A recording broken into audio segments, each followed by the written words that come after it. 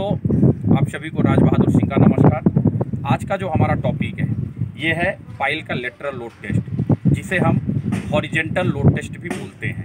दोस्तों, इसको करने का रीज़न क्या है? इसको क्यों किया जाता है? और इसको करने के लिए हमें किन किन चीज़ों की ज़रूरत पड़ती है इसके सेटअप रेडी करने के लिए?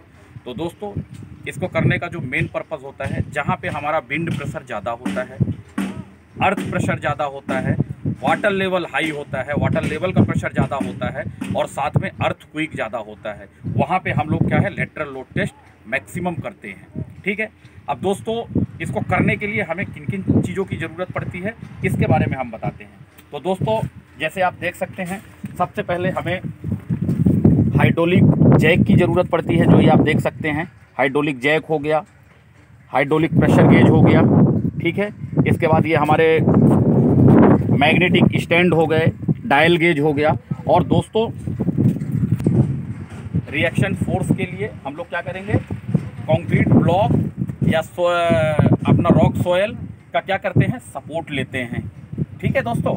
तो हम आपको, जैसे कि हमारा ये टेस्ट चल रहा है, इसके आगे का हम आपको प्रोसेस दिखा रहे हैं। जैसे कि रिएक्शन फोर्स के लिए हम लोगों ने क्या किया? ये कंक्रीट का ब्लॉक है। कंक्रीट के ब्लॉक को हम लोगों ने ग्राउंड सर्फेस के साथ किया है।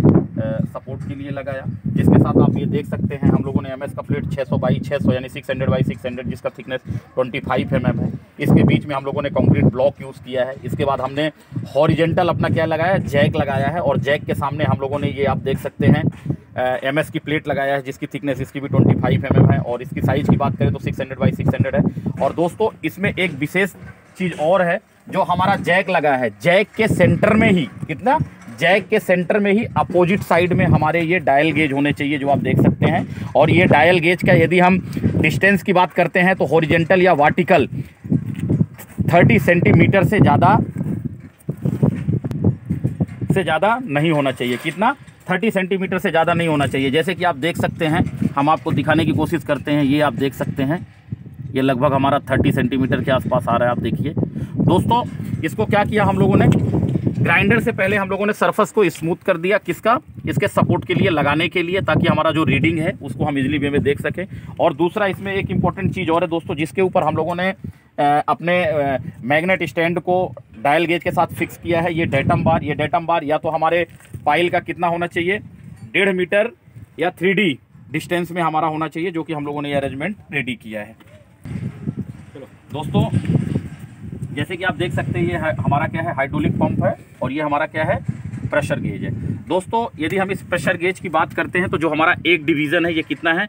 पाँच के पर सेंटीमीटर स्क्वायर का है, एक डिवीज़न ठीक है? तो इसके अकॉर्डिंग इसका कैलकुलेशन कैसे किया जाता है, उसके बारे में हम आपको बताते हैं। तो दोस्तों, जैसे कि आप देख सकते हैं, जो हमारा लेटरल लोड है, यदि हम उसके टेस्ट लोड की बात करते हैं, दोस्तों तो हमारा कितना है? 7.8 है। ठीक है? मैट्रिक टन दोस्तों, यदि हम सेफ़ लोड की बात करते हैं तो 5.2 मैट्रिक टन है, ठीक है? लेकिन हमारा ये क्या है रूटीन पाइल है तो रूटीन पाइल के लिए हम सेफ्टी ऑफ़ फैक्टर कितना पकड़ते हैं? 1.5 टाइम्स पकड़ते हैं।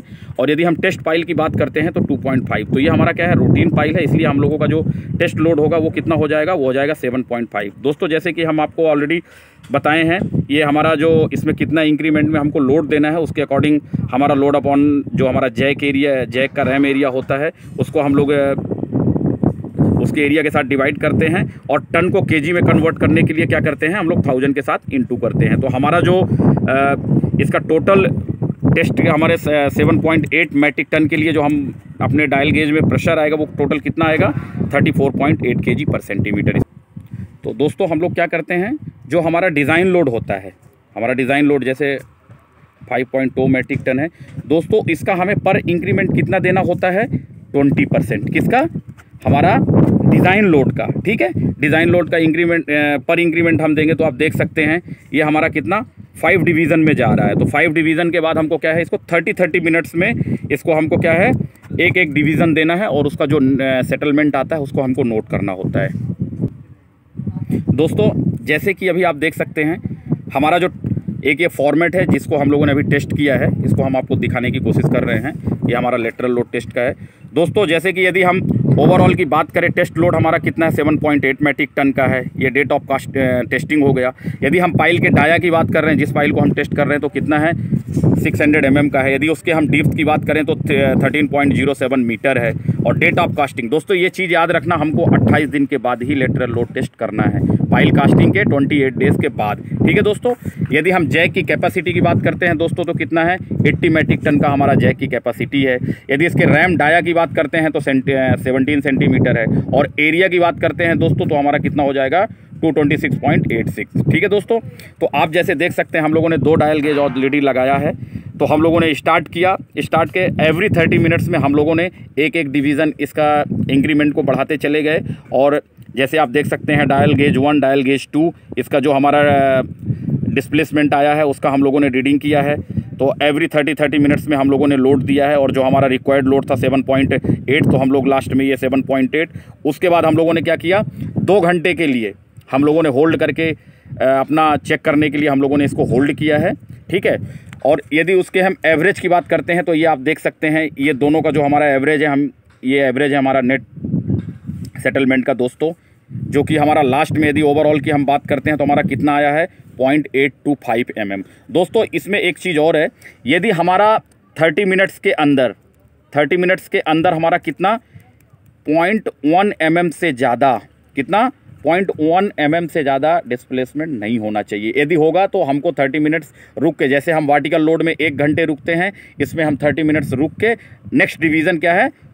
थर्टी मिनट्स के बाद ही देंगे। ठीक है? यदि इससे ज़्यादा सेटलमेंट आता है तो हमको one minute sorry thirty minutes हमको और वेट करना पड़ेगा।